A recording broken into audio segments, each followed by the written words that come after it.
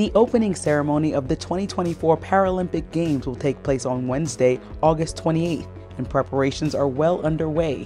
The Paralympic Committee had a recent press conference noting that this year's Games will break records on participation. We have 167 national Paralympic committees here ready to compete.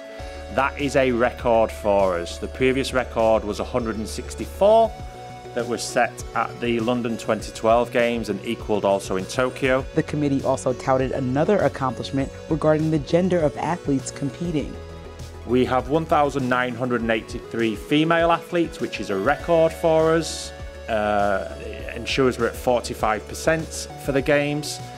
I think that's a tremendous achievement, bearing in mind our first Games were in 1960. So to almost achieve gender parity in such a short time frame is really encouraging. Reuters notes there will also be an eight-strong refugee squad